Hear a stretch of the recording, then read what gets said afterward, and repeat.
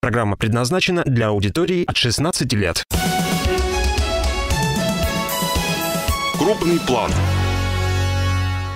Здравствуйте, в эфире программа «Крупный план». Меня зовут Владимир Сметанин. Сегодня крупным планом в нашей студии Сергей Береснев, директор кировского филиала компании «Т+.» Сергей Александрович, добрый день. Добрый день. Наша встреча, сегодняшняя наша беседа приурочена к Дню энергетика, который отмечается 22 декабря. И вот у вас сейчас есть прекрасная возможность своих коллег поздравить с этим праздником. Да, я поздравляю всех наших коллег с Днем энергетика. Желаю безаварийной работы. Ну и, конечно, обязательно в каждой семье, чтобы, был, чтобы было тепло, чтобы было светло, чтобы было уютно. Мы встречаемся с вами накануне нового 2017 года, и, разумеется, хочется задать вопрос по итогам 2016. Чем вам запомнился этот год уходящий? Какие основные моменты можете отметить? И вы ведь как раз в 2016 году стали руководителем кировского филиала компании. Да, в 2016 году произошел э, перевод меня как э, директора э, Виаткоторф э, на Кировский филиал. Я стал директором Кировского филиала по ОТ+. Но основная задача ставилась передо мной и нашим руководством следующее. Э, составить и защитить пятилетний бизнес-план, угу. который мы с честью защитили в Москве. Как раз недавно это произошло. Да, да. да. А чем, собственно, обусловлено появление вот этого плана? Чем вызвано? Ну, я думаю, что э, все согласятся о том, что надо смотреть на перспективу, на горизонт более чем на один год, э, видеть, э, как мы изменяемся, для чего мы существуем, для того, чтобы поддавать тепло и свет, э, в первую очередь для горожан, и поэтому как должна развиваться тепломагистральная сеть, как должна развиваться меняется передающая сеть, как должны меняться мы, э, хватает нам генерирующего оборудования или не хватает, или оно в избытке. То есть на все эти вопросы мы, я считаю, что ответили и для себя составили план развития на 5 лет, э, который включает в вот эти все вопросы. То есть там отмечены, как это обычно бывает, и количественные, и, количественные, и качественные, показатели, параметры, да, к чему да, мы должны стремиться. Мы должны то оборудование, которое сегодня мы эксплуатируем, привести в целевое состояние, то есть чтобы оно работало безотказно. Мы должны э, качественно отработать по тепловым сетям в течение этих пяти лет, чтобы привести его, опять же, в целевое состояние, для того, чтобы граждане почувствовали, что а я бы даже сказал, не то, чтобы граждане почувствовали, а чтобы граждане не чувствовали, что у нас есть какие-то перебои с отоплением mm-hmm. или с горячей водой, а просто получали ресурс каждый день, здесь и сейчас. То есть во главу угла все, да. все равно жители города ставятся, абсолютно, да? Абсолютно. Их комфортность, их безопасность пользования абсолютно, ресурсами. Только так. Да. В этом году активно проводилась, безусловно, работа по подготовке к отопительному сезону, и удалось не только заняться вашей компанией ликвидацией дефектов, но и реконструкции теплосетей. В чем заключалась? Давайте напомним, эта реконструкция, какие планы ставились, чего, дости чего достигли и, собственно, дальнейшее продолжение этой деятельности в следующем уже году а, интересует. Да, реконструкцию мы провели а, достаточно обширную по этому году. А, по плану, который был согласован с администрацией города Кирова, мы все отставания по предыдущим программам устранили. То есть э, сейчас все, что мы, о чем мы э, проговариваем каждый год с администрацией города по муниципальным сетям, все программы мы реализовали. А с чем у вас отставания были связаны? Отставание, ну, основная причина была а, отставание с неоплатой населения, с неоплатой управляющей компании. Нам, э, естественно, мы в этом году чуть шире шагнули в, по кредитным ресурсам, и все-таки эти отставания мы ликвидировали. Угу более 12 километров тепловых сетей мы переложили, то есть те граждане... Давайте напомним, где. Да, давайте напомним, где. Это улица Юровского, а, улица Солнечная, это улица Правды, улица Свободы в двух местах мы перекладывали теплотрассу. Свобода милицейская перекладывали сети от ЦТП к домам. То есть э, вот улица Тимирязева такой достаточно серьезный рывок мы сделали по улице Тимирязева, по самому сложному участку. Мы поднялись и соединились с уже проложенными в прошлом году новыми теплосетями. Мы обеспечили надежность на этом участке, это точно. Хотя изначально не планировали этот участок брать в работу. Что это дает в итоге, вот именно в, этом, в этой конкретной А, точке? В любом случае все перекладки дают э, снижение потерь э, и дают э, безопасность и надежность. Только для этого. На следующий год какие планы ставите перед собой? Увеличить, возможно, О. этот километраж пере- переложенных У нас очень Сетей. э, э, желание, конечно, есть и огромное. Мы обсуждали вопрос э, не так давно в пятницу с министром строительства и ЖКХ. который посетил да, Минин, наш город. Да, Мгм. и проговаривали, как мы видим, дальнейшее обновление сетей, в том числе муниципальных сетей по городу Кирову, и получили, э, я считаю, что полное одобрение. И министр строительства и ЖКХ нам сказал о том, что переход на концессионную модель поддерживается всеми, и президентом, и правительством Российской Федерации, и, и его министерством. Э, Конечно, в такой ситуации просто нам надо двигаться вперед не такими темпами, которые есть сейчас, а удваивать, утраивать эти темпы. А в принципе, вот для понимания, чем федеральный центр может помочь вам Мы- вашей деятельности? Чего да. вы ждете? Чего вы... Вот смотрите, мы э, обсуждали уже этот вопрос э, в этой же радиостанции. Э, Мы видим о том, что там наши собственные сети, которые есть у нас на балансе, мы самостоятельно обслуживаем и реконструируем. Тут, наверное, вопросов никаких не может быть. Но у нас есть и муниципальные сети. Мгм. Муниципальных сетей наибольшее количество в городе Кирове. Это практически 800 километров. Это в процентном соотношении, если говорить, сколько А, муниципальной там- собственности и сколько у вашей? Э, Сколько 63% муниципальной собственности, 4% это сети прочих э, организаций и все остальное у нас. То есть там у нас остается... Ну, 30 с небольшим, Да, получается. 30 с небольшим, Мгм. 33%. Вот. И э, основная задача у нас найти финансирование под муниципальные сети. Каким образом вы собираетесь искать эти деньги?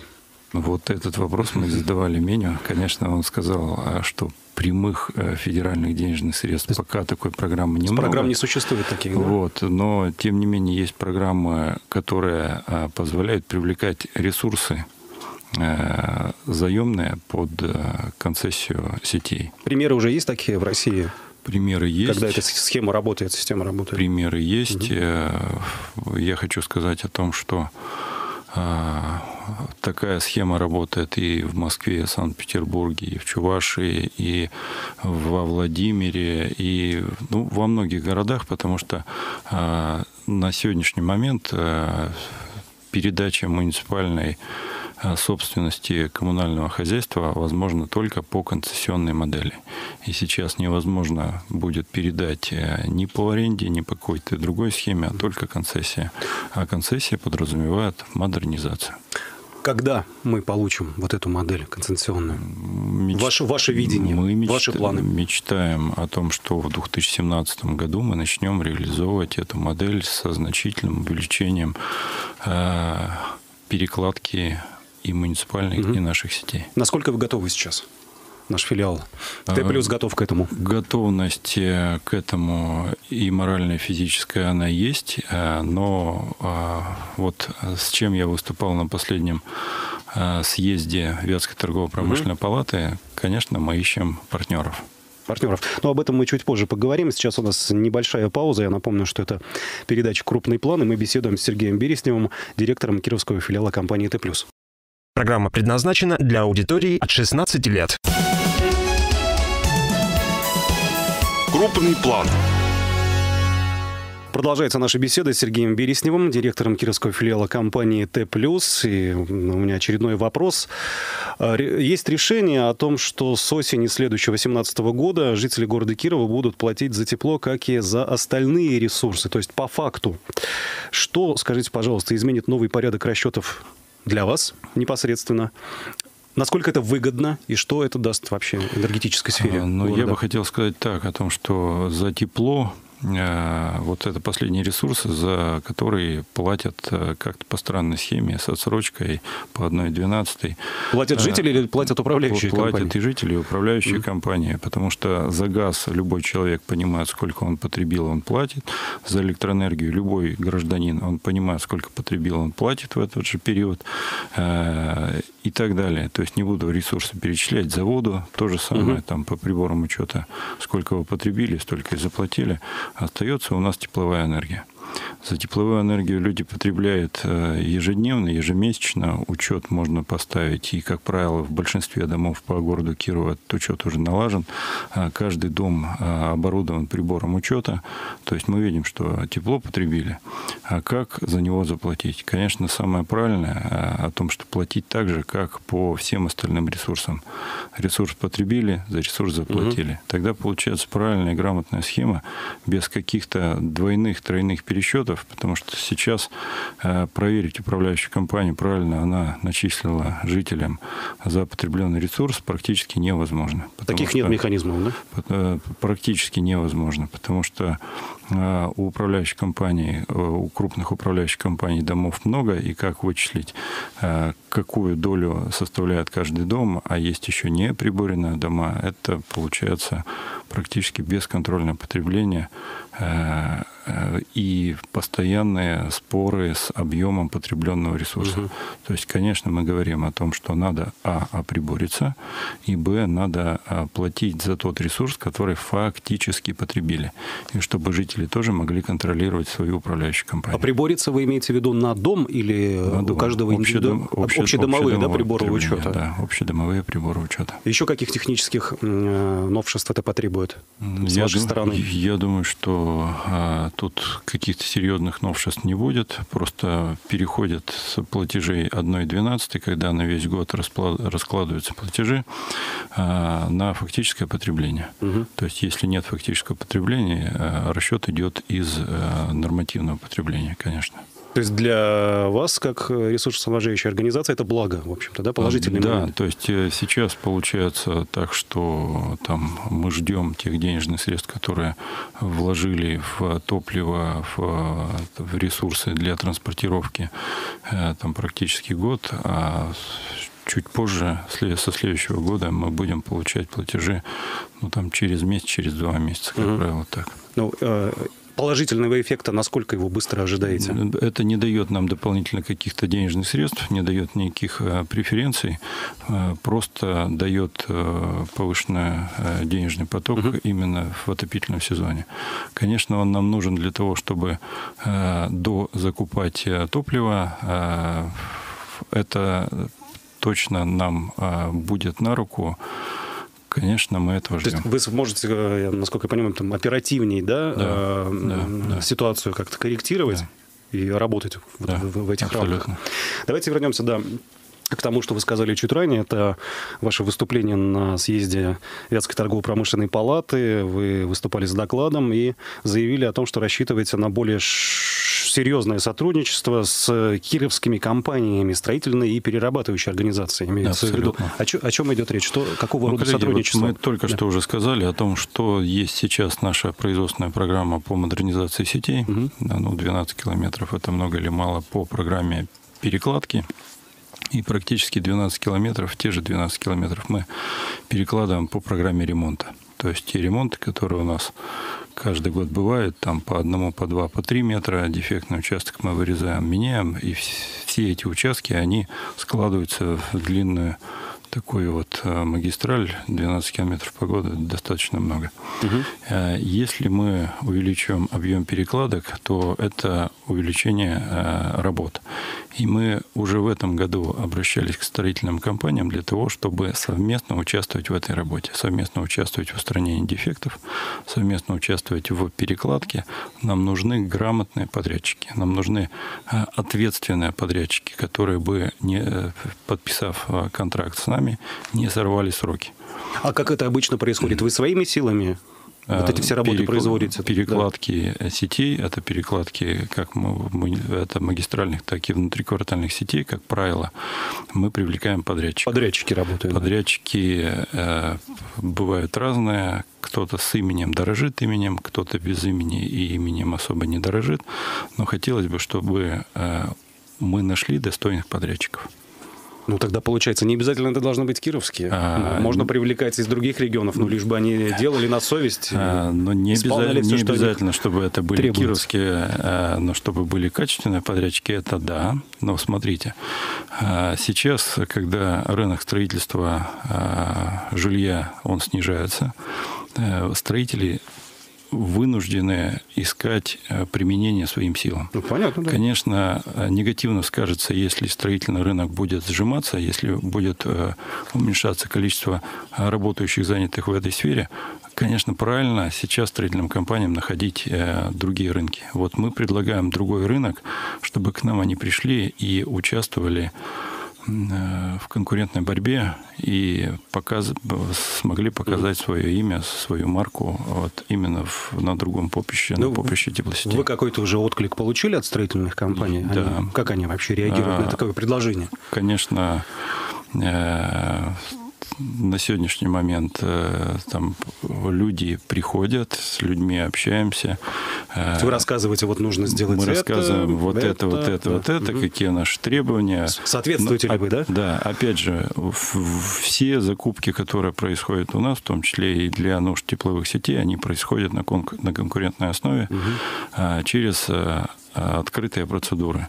То есть на сайтах вывешена вся информация, э, любой подрядчик может посмотреть, какой конкурс сейчас проходит, на какой объем. А на следующий 2017 год у- у нас утверждена годовая комплексная программа закупок, и можно увидеть, э, где можно привлечь э, ну, себя, показать себя, это нам интересно. Кроме этого, мы видим и испытываем трудности по а, трубной продукции в, а, сразу в предизолированном состоянии, в ППУ изоляции, а, изопрофлексовые трубы, которые мы покупаем за пределами Кировской области. Мгм, то есть они у нас не производятся Они у нас не производятся практически. ППУ изоляция у нас есть одна компания, которая в этом году а, практически не справилась со сроками поставки продукции. Конечно бы нам хотелось, чтобы а, вот и на этот рынок а, пришли а, качественные подрядчики, которые могли поставлять э, законтрактованный объем в установленные сроки. А количество теплосетей, повторюсь, будет увеличиваться по перекладке. Но наше местное производство, если бы у нас это все делалось, это бы удешевило в какой-то мере? А, Я думаю, что да. То есть Продукцию, э, эти же трубы. Большая часть продукции по изоляции у нас перевозилась из Подмосковья, из Татарстана, э, из Санкт-Петербурга. Конечно, транспортные расходы ни к чему не нужны, но надо говорить опять же и про занятость в нашем регионе, и про а, поступление в бюджет. Мгм. Потому что мы живем здесь, и надо развивать промышленность э, в Кировской области. Кроме этого, по а, партнерским отношениям а, мы на съезде говорили и о том, что рядом с нашими площадками, а, рядом с ТЭЦ, СТЭЦ 4, СТЭЦ 1, СТЭЦ 5, СТЭЦ 3, есть промышленные площадки, где можно размещать производство. Это лучшее место для того, чтобы получить самую дешевую тепловую энергию для того, Мгм. чтобы получить самый дешевый пар, а, для того, чтобы спокойно, без каких-то глобальных ограничений, получить доступ к электрической энергии. То есть это хорошие места для развития а, крупного бизнеса, крупной промышленности. То есть, если бы там а, появлялись такие предприятия, они точно должны видеть наши площадки. Но вы готовы сейчас сказать потенциальным э, Естественно, мы э, инвесторам, там, да, вот, мы пожалуйста, сказали, при- приходите к нам, мы вам все объясним, расскажем, покажем. У Да. нас есть земля, у нас есть э, возможность подключения к подаче самого, наверное, дешевого теплоносителя, который есть по Кировской области. А, У нас есть пар, у нас есть возможность подключения к электрической энергии, у нас есть возможность полного обеспечения водой.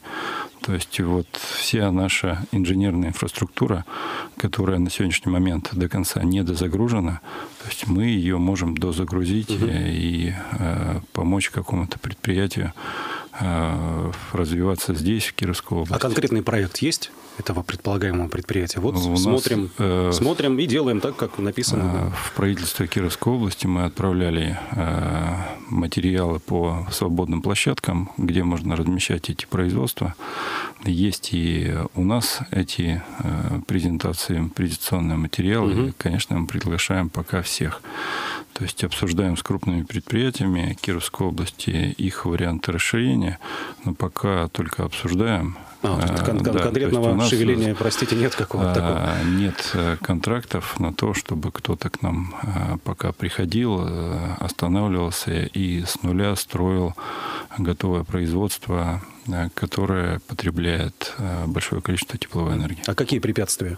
Здесь? Препятствий взгляд, нет. Что я, мешает? я считаю, что просто экономическая ситуация на рынке для развития, для инвестирования, она не самая благоприятная. Mm-hmm. То есть сейчас на спаде мало кто желает строиться, но я думаю, что будет и этап развития, и наши площадки будут востребованы. Приглашаем я всех. Я напомню, что мы беседуем с Сергеем Бересневым, директор Кировского филиала компании Т+. Мне хочется еще спросить про вашу работу и про ваше взаимодействие с различными общественными организациями, в частности, с Центром общественного контроля в сфере ЖКХ.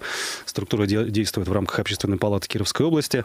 А, они, мы знаем, зачастую совместно с вами участвуют в обсуждении тех или иных а, проблем, в поиске тех или иных решений. А, насколько конструктивна эта деятельность? Ну, я считаю, что это э, конструктивно, и нам работать без как сказать, общественного контроля или общественной оценки тоже нельзя. Эм, общественная палата приглашала нас, э, компанию Кировский филиал ПАВТ+, э, тепловые сети для обсуждения вопроса по тепловым сетям муниципального образования города Кирова. Такую встречу мы проводили. Э, обсудили варианты возможные выхода из ситуации, когда нам очень срочно и, правда, очень важно обновляться.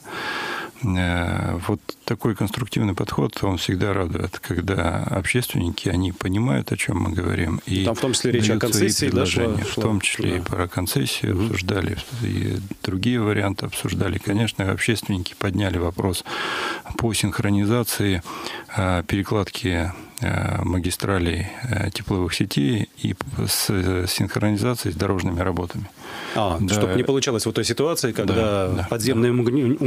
коммуникации, там что-то сделано, а потом... Нет, наоборот. Когда у нас есть такая пословица а. о том, что если кладут асфальт, а, ну значит, да. завтра его будут э, вскрывать для проведения каких-то иных работ. Ну, чтобы не было Чтобы да, не было такого. Ситуаций. То есть мы и свой план составляем сейчас с администрацией города, мы синхронизируем эти работы. И кроме этого, в период запуска по отопительному сезону а, общественная палата и общественные контролеры приезжали к нам, смотрели, как запускаемся, какие трудности есть. То есть они видели mm своими глазами там а, те mm дефектные участки, mm которые мы отрабатываем, с которыми мы боремся. Я считаю, что вот эта открытость, она и должна а, этот где-то пояснить людям, а во всем ли виноваты тепловые сети, или все-таки есть в каких-то моментах э, вина кого-то другого. У нас... здесь не про вино мы говорим, конечно, это надо видеть и знать, что мы делаем. У нас сейчас будет небольшая реклама, мы продолжим через полторы минуты. Программа предназначена для аудитории от 16 лет. Крупный план. Продолжается программа «Крупный план». Я напомню, что гость нашей студии Сергей Береснев, директор кировского филиала компании э, «Т+». Мы продолжаем. Кстати, ведь практически половина отопительного сезона 2016-2017 уже позади. Слава богу. Слава богу. Как протекает сезон отопительный? Ну, я хочу сказать, что станции подготовили, э, подготовились к сезону отопительному достаточно серьезно. Mm-hmm. Здесь э, больших замечаний нет. Ну, сети и сети. Э, где-то лучше, где-то хуже. Стараемся, чтобы люди не почувствовали, что есть какие-то дефекты. И стараемся, опять же, чтобы у всех всегда все было и тепло, и горячая вода. Сейчас хотелось бы поговорить о такой внутренней, интересной, надо сказать, жизни нашего филиала компании Т+. В частности, тему благотворительности и спорта хочется поднять Сейчас благотворительная деятельность, она в какой стадии, какие проекты реализуются? Ну и тут вспомнить можно, конечно же, то, что было совсем недавно. Э, по благотворительности да. я хотел бы сказать так, о том, что, конечно, э, компания Шакировский филиал – это та компания, которая Э, полностью работает на тарифах, и свободных денежных средств практически у нас нет. Но, но так или иначе. Но да? так или иначе. Э, вот сейчас те мероприятия, которые мы проводим, это проводится практически э, все за счет нашего внутреннего энтузиазма. То есть щедрая весна, которая проходила весной, где мы... Напомните суть. По сути, я хочу сказать следующее. Приезжали к нам э, Сосновская школа-интернат. Мы собирали э, концерт, проводили перед э, сотрудниками нашего филиала и выставляли ребята из домов интернатов свои вещи, которые сделали своими руками, и мы их покупали, проводили аукционы Аукционы также проводили и по продаже каких-то ценных для каждого работника вещей. Можно было... И все деньги, вырученные от продажи этих вещей, они шли, естественно, на благотворительные цели. Э, тем самым мы помогли э, дому э, интернату детскому угу. собрать денежные средства на какие-то необходимые вещи. Мы передали это им. Я считаю, что да, это хорошее начинание. Мы каждый год решили такую историю продолжать. То есть щедрая весна 2017, она с уверенностью, можно сказать, будет. Весна будет э, щедрой в 2017 году. Дай бог, э, чтобы э, конечно, не испытывали дома-интернаты каких-то финансовых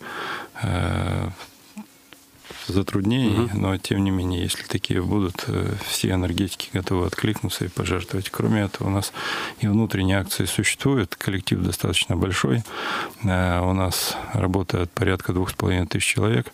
Если вдруг кто-то из нас, работающий что на станции, что в тепловых сетях, испытывает трудности, болезни детей, э, родственников, близких или какая-то нечаянная болезнь наших работников, то естественно, мы все откликаемся и помогаем друг другу. Так, давайте коснемся темы спорта. Насколько ваши сотрудники были активны в спортивном смысле в выходящем 2016 году? Сдавали ли нормы ГТО? Точно. Про проводили ли какие-то внутренние корпоративные Точно. спортивные мероприятия? Нормы ГТО сдавали. А у нас, я хочу сказать, что среди работников энергетических предприятий, а сегодня такой правильный день, день энергетика. Угу. Все работники участвуют, большинство работников участвуют в корпоративной спартакиаде. Э, сначала идет корпоративная спартакиада, где мы определяем лучших спортсменов не только кировского филиала, но и когда выходим на уровень э, Москвы, то уже там боремся за какие-то призовые места. Но и среди работников энергетических предприятий, Киров Энерго, Горэлектросеть, Коммунэнерго, мы проводим свои внутренние мероприятия определяем по э, видам спорта. Э, лыжный бег, э, ранее было плавание, угу. волейбол, В общем, стараетесь футбол. искать, что кому да, интереснее, да? Что кому интереснее. Вот мы ищем это, и, конечно, приятно, когда наша команда выигрывает. Не всегда это бывает, но всегда кто-то должен быть сильнее. Ну, вообще, по, по, по определению энергетик, он должен такой энергии это изнутри да, тоже свет, светиться, да? да? Да. Давайте еще вспомним про интересную акцию, которая была у вас в этом году, «Энергоночь». «Энергоночь 2016», будет ли она э, такой плановой, традиционной станет? Ну, ну, Давайте достаточно, в чем, в чем достаточно массово объявляли Ночь музеев. Э, в музей привлекали э, посетителей. В мае. В мае, в мае, в мае привлекали. Да. И мы подумали, у нас есть э, музей, где выставлено по энергетике практически все. То есть можно посмотреть, как развивалась энергетика, что ранее применялось, что сейчас применяется в энергетике. То есть есть у нас такой музей э, Музея энергетики. И, э, опять же, совместно с энергетическими компаниями мы решили провести такую акцию «Ночь Энергоночь 2016» в рамках Ночи музеев. Получили достаточно хороший отклик, более 300 гостей. И все-таки намереваемся провести точно такое же мероприятие в 2017 году. Я считаю, что в 2017 году уже, наверное, гостей будет трудно вместить в те помещения. Ну, подумаем, как это реализовать. Ну, смысл, основной посыл проведения этого мероприятия – это более бережное отношение, да? в посыл, к энергоресурсам. Посыл это, конечно, популяризация нашей э, отрасли, нашей профессии. Mm-hmm. А кроме этого, на театральной площади играми и квестами э, мы провели э, фестиваль энергосбережения вместе ярче. Вот там, да, там мы говорили о том, что надо беречь электрическую и тепловую энергию, э, не забывать базовое правило, уходя, выключаем свет, лучше отрегулировать систему теплоснабжения дома, чем открывать форточки, конечно, это мы об этом и говорили э, на акции «Вместе ярче». А, кстати, вы лично в своей жизни э, насколько пользуетесь этими навыками энергосберегающими? Вот сейчас сказали, Я... выключаю свет. Абсолютно. Там энергосберегающие лампы. Выключаю свет, энергосберегающие лампы. И вот на театральной площади я спрашивали телеканалы, о чем же я мечтаю. Все-таки я мечтаю, чтобы в каждом доме в городе Кирове стояли стояли индивидуальные тепловые пункты, угу. чтобы можно было каждому дому самостоятельно отрегулировать ту температуру теплоносителя, которую э, была бы комфортна для жителей. И чтобы не было такого начала отопительного сезона, окончания отопительного сезона, а можно было самостоятельно, э, выключая и убавляя, всегда получать ресурс. Даже э, там летом в холодные дни, в дождливые дни можно было чуть-чуть добавлять тепловую а, энергию. Ну, понятно, о чем речь. Да. А, кстати, среди своих сотрудников вы какую-то вот эту пропагандистскую работу ведете? Абсолютно. Настаиваете Абсолютно. на том, что нужно быть вот более цивилизованным, чтобы они потом, в свою очередь, как бы по городу разносили эти знания, вот ну, такая, среди... чтобы сеть такая появилась. У нас даже э, не так давно выпускалась книжка для детей э, про экономию э, ресурсов. То есть в этой книжке доступным языком, на картинках, э, в таком э, в сказочном, шуточном варианте было написано, что все-таки надо делать для того, чтобы сберегать энергию. Угу. А вот еще такое новое интересное направление работы – Совет молодежи, тоже появившийся в 2016 году.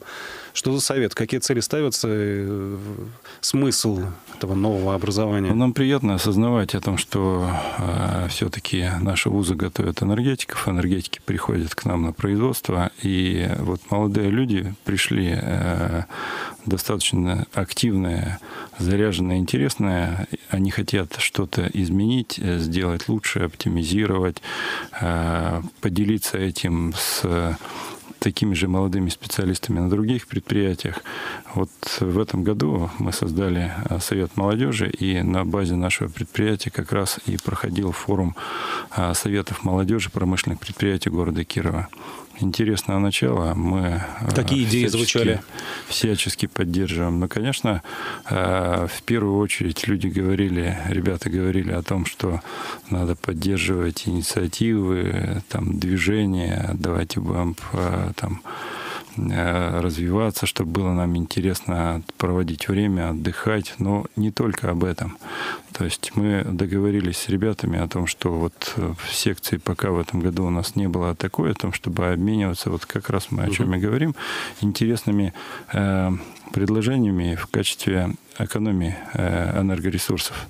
То есть э, у нас это есть, на других предприятиях, наверное, у кого-то есть, у кого-то нет, чтобы э, смотреть и думать, за счет чего можно сэкономить. Угу. Сэкономить для предприятия или что-то новое внести на предприятие, чтобы они уже приходили на свое предприятие, даже в чем-то удивляли старых работников, обменивались опытом. Угу. Это вот интересное начинание. Я считаю, что мы его будем поддерживать. Угу.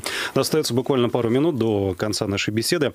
Знаю, что в году наступающем у вас будет еще один интересный проект о старте которого было недавно заявлено. Это проект 30 скверов. Вот как раз-таки сейчас, в эти дни, жители города Кирова могут поучаствовать в интернет-голосовании, выбрать те участки, где могут быть обустроены зеленые зоны. И вы тоже приняли решение для себя, что вы в этом проекте поучаствуете.